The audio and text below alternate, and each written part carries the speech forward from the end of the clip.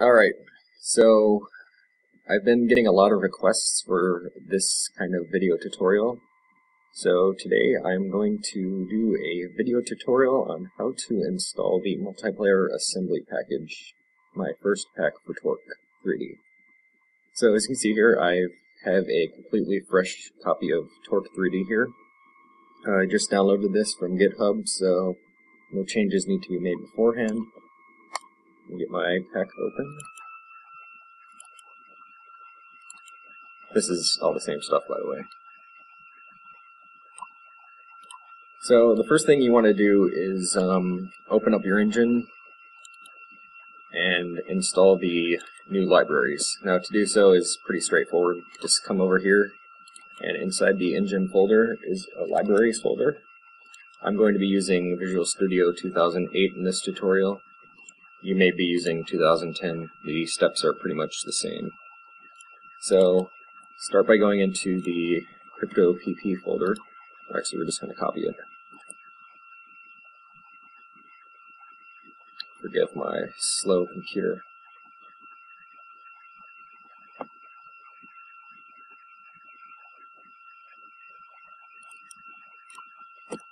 Let's come that.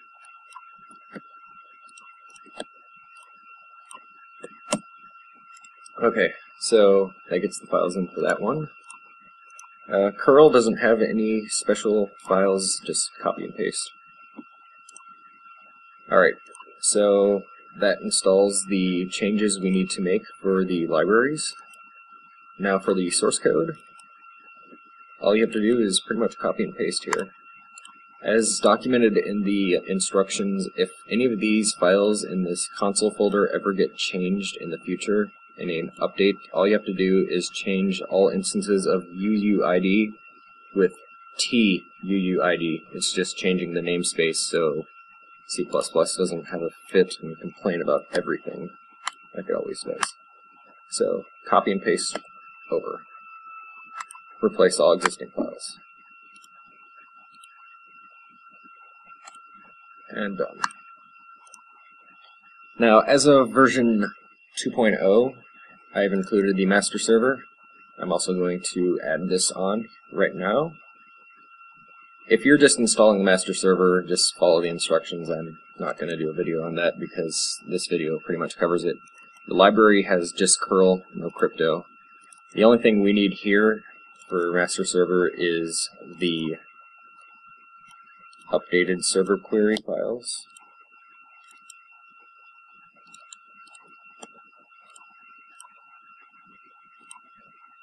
And the changes to the actual server query.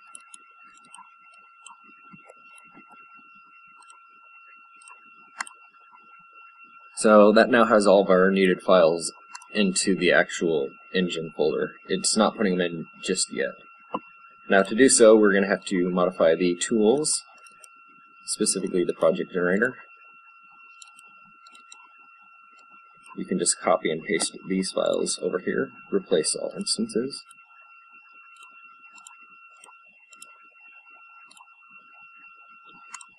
So that covers that. So now we have the tools changes added. We've added the source code. So we'll add the template changes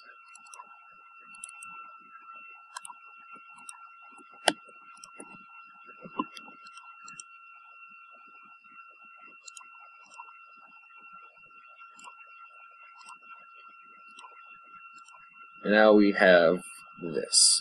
So I'm not exactly sure how to create a new project in the newest version other than just copying and template over. I have the toolbox, but I'm not going to use it. So I'll just copy the full template here.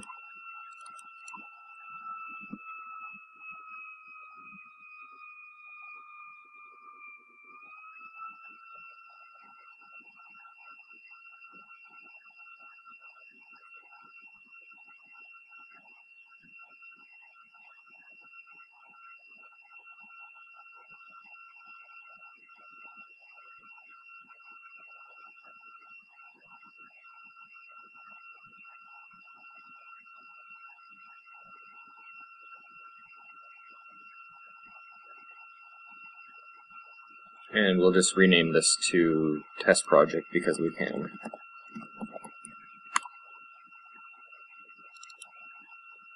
Now the first thing we need to change is the um, configuration because obviously it's named full. So if you're using the toolbox you won't have to do this, but since I'm not, I'm going to have to do this and then generate my project. Name that test project.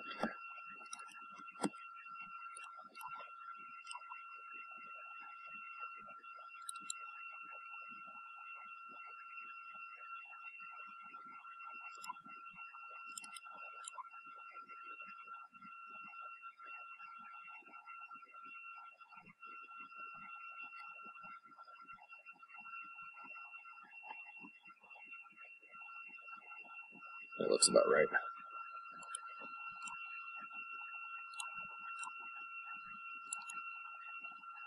Okay, so we have that. We have the new module installed, so now we just have to generate the project.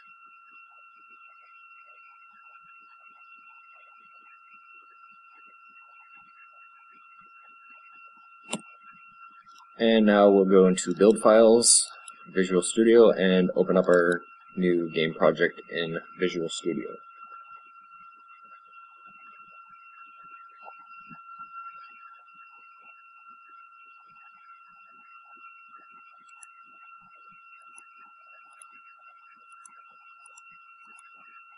And as you can see, our necessary files are now included.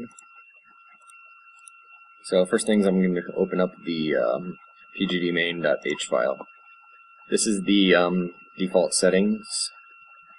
I'm going to go ahead and um, flip this on because I will be covering the master server as well.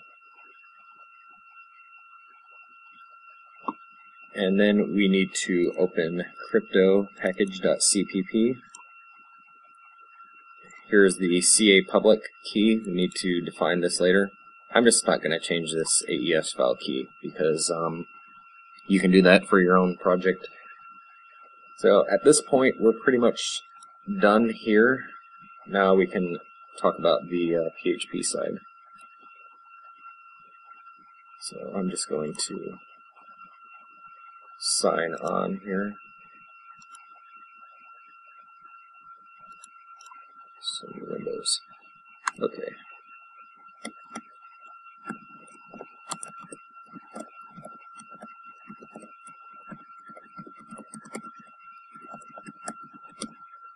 Actually, no.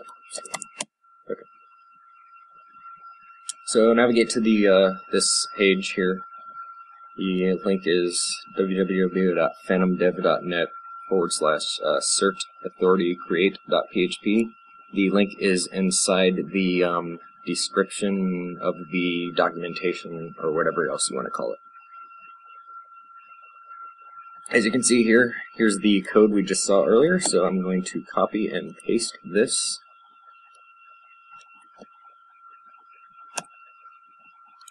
And I'm going to save. And now we want to open up the PHP folder inside the uh, map main folder. You can see I've included some files here.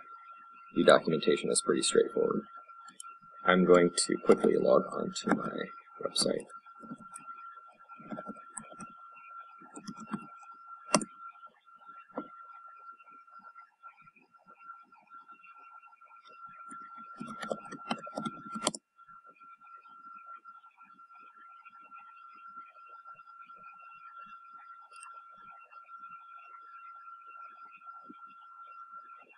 Okay, so first things first, we need to create a um, new MySQL database and account to go with it. I've already done so, so I'm not going to do it again. I'll just sort of walk you through this process. So, create a new database. Um, I named mine, I do believe it's, actually, never mind. Um, I created a database for each of my different projects. You can see them here. So you're going to create a database. To do so, just uh, type a database name here like my health system. and create it. I'll just do this to demonstrate. And then we need to create a user to go with it. So, user.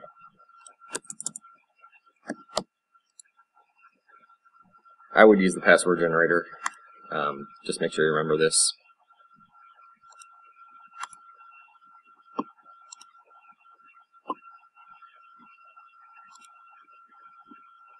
And then last thing you need to do is add your new user to the database you just created. And then there should be this little checkbox here that says all privileges, just check it, make changes.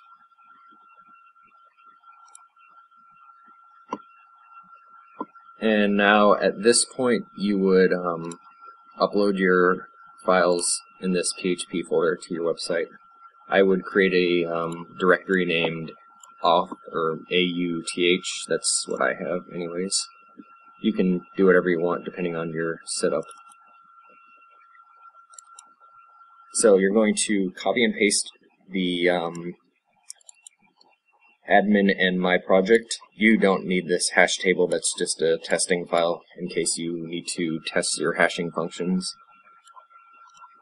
So inside the admin folder, you'll see a globals.php and a sql.php.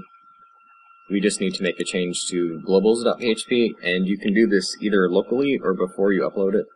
First thing you want to do is change this site header variable to whatever your main website is. So mine is phantomdev.net, so I would change mine to www.phantomdev.net, like so. And then I've pretty much documented everything here, so you can read through this if you want, but I'm just going to quickly explain. You don't have to touch any of these. These features are actually going to be uh, removed in the next version whenever I get to that. So here's a template. Now, I would recommend not touching the template just in case you ever add more games in the future. You're just going to copy this and paste it. And as you can see, there's this folder called My Project. Now, this would be you can rename this to my game pretty much or whatever the name of your game is for that purpose. And then what you're going to do is I just undid that by the way if you weren't paying attention. Change all instances of new project with my game. It's the name of the folder you just did. And then as you can see here's the uh, database. I do believe it was um, auth system or my auth system Why did I put? And then you would create your, put in your database user and copy the password here. Um, these two tables. Accounts is where your user information is stored, and account keys is where the account creation keys are stored. I've had a lot of people confused about why there's nothing in account keys when there's something in accounts. Um, basically, account keys is the account creation keys for your system. They will be deleted from the table after they are used. Now, if you want to have a game without this account keys, you have to do a few more changes. I'll probably write a tutorial on that if you want me to. So, with that in mind, save your changes. I'm not going to because this is the actual file included in the pack. Save your changes there and upload everything here to your web server. So now at this point we're done with um, the initial setup. So you can either build this now, and I actually will get that started since it does take a little bit of time. And then we are going to go to the PHP My Admin tool.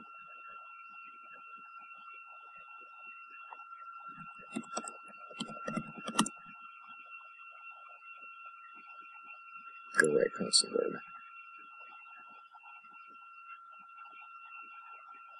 So at this step, you're going to actually um, create the two tables.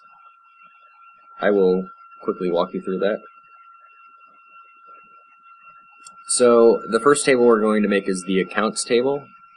It has uh, nine fields, so you're going to type accounts here and nine columns there. And I will show you the structure of that now.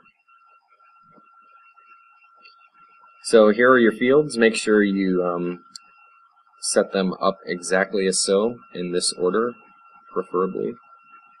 Um, just read through them. It's also included in the video. And then the account keys table has a similar structure setup, except the fields are all text and there's only three of them. Actually, I take that back, they're quite different. So create your two tables.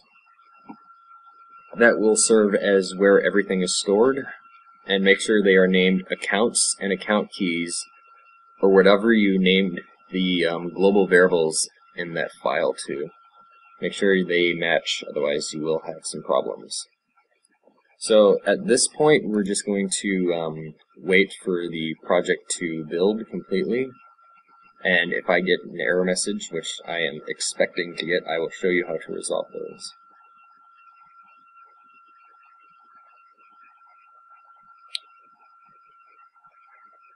Suppose I can talk about the master server while we wait for that.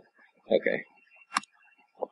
Now master server is Um, you've already installed tools and engine, so don't worry about those.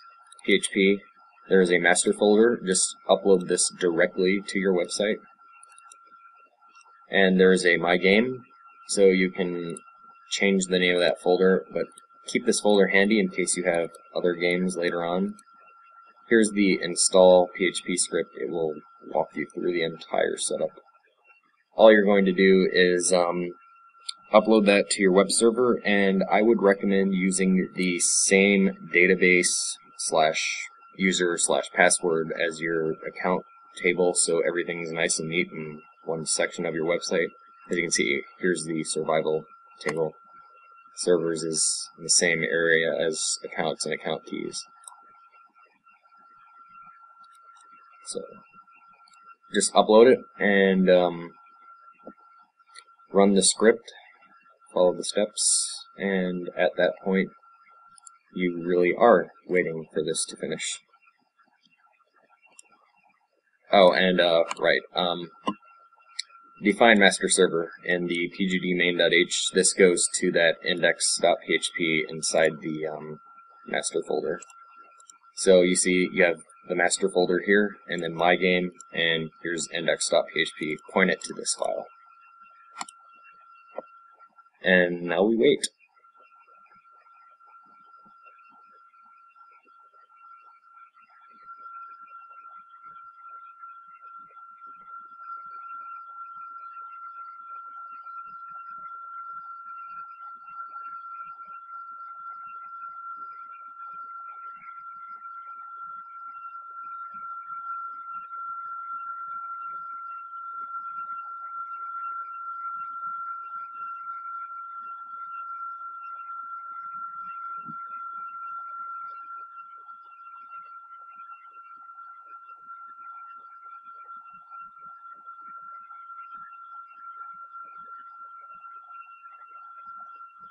Or you guys get lucky.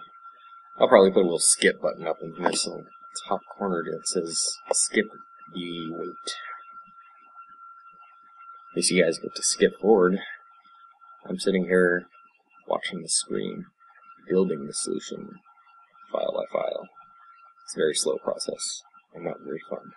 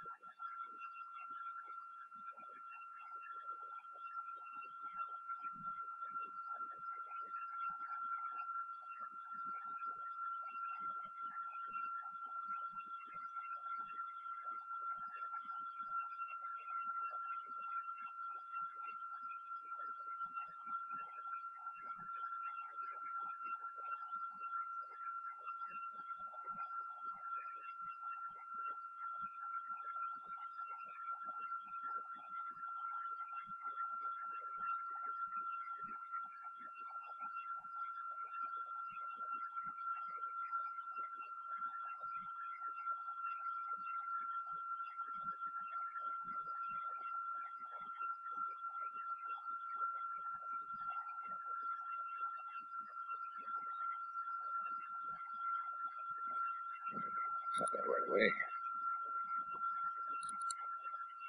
Console functions. Oh, I'm definitely going to port this. this. If you're running the newest version of Torque, by the way, there is an error in console functions.cpp. Line 33, it says platform forward slash event.h. You need to put platform input event.h. Not pack related, just friendly heads up if you're developing a project and run into that little problem. So, back to this.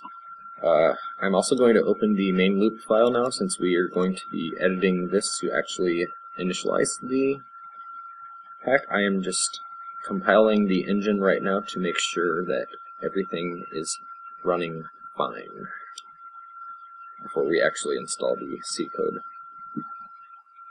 We also need um, T3D, GameBase, GameConnection.cpp, and GameConnection.h. Okay, so those are done.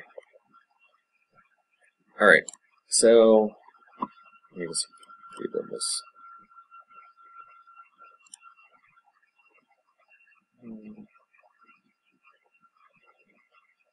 Alright. Um, also, unload your uh, NP and IE files.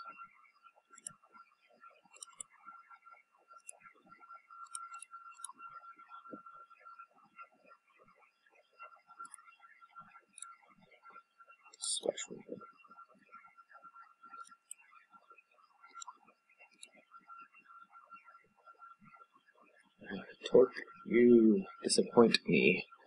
Okay, well, I'll let the GitHub people figure that one out. Since that's not to do with this. Alright, um, just use a older version for now. Um, we'll start with main loop. I'm actually going to open my own tutorial here to go through this.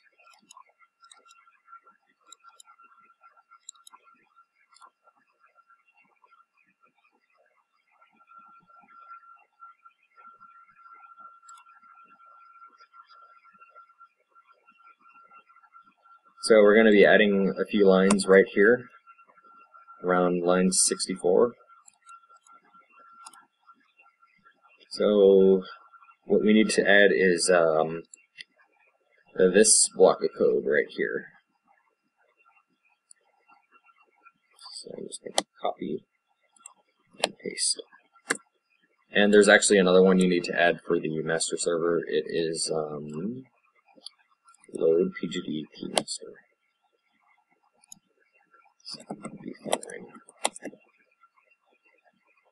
And then we're going to scroll down a bit to the um, standard main loop init function, and we're going to add a block after this console initialization. So 247-ish.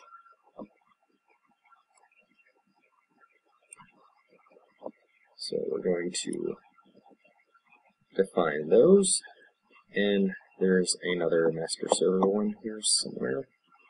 I'm lazy, and I'm just going to look it up.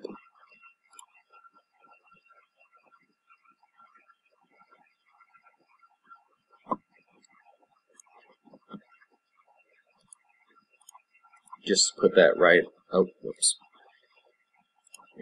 just put that right underneath this uh, first one here. It actually doesn't matter, but I just like orderly fashion things. Okay, so next is game connection. So there's a few functions we need to add, and again, I'm just going to go to um, master server, the documentation. So as you can see, we need to add a few lines of code. We'll start with the header file. And that goes right here at line 42 after all the other initializations. And then we're going to scroll down into the actual code. I'm looking for a specific function. I recommend you use uh, these functions, the fade control function. So damage flash, whiteout, blackout. So we need to add this block of code. I would do it right here, and hey, hey, actually all the old auth code is there. The useless code, as I like to call it. And lastly, we need to add the actual new code itself. So I'll just scroll down to the bottom of the file and copy this block of code that's included in the documentation to the file. Save it and build it. Now, mine's going to fail because, um, whatever problem's going on with the engine. But if you have any specific errors, like linking errors related to libcmt, to get rid of those, just go to Project, and then Properties. And then you're going to go over here to Configuration Properties, Linker, and Input and you'll see ignore specific libraries. Just um, to get rid of those issues, just put a comma and then lib cmt and apply the changes. And that will fix any issues with that. Um, other than that, the only thing left to do is the um, actual TorqueScript code and I'm not going to do that part because it's pretty straightforward. I will show you it though. Um, we'd made some changes to the template as you saw in the beginning of the video. Now what we actually did there was um, added some code to the core. You can see the two new files.